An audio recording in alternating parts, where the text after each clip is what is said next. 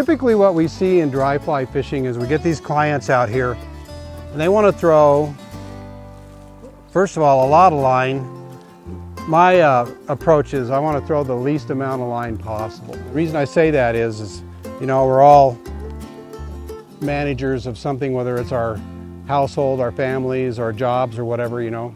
When I come out on the river, I don't want to manage any more than I have to. Every inch of line I put out there is just that much more that I have to manage. So to me, the best cast I can make is the shortest cast I can make to the fish. You would be surprised how close you can get to them sometimes. You have to be careful about it because you can spook them, but you can get pretty close to them sometimes. The other thing I tell my clients is find a length of line that you're comfortable casting and work with that. Don't be changing a lot. Don't be trying to throw a lot more line here and there, or, or even shortening up sometimes can be difficult. So find a length that casts well that you're really comfortable with and work with that much line.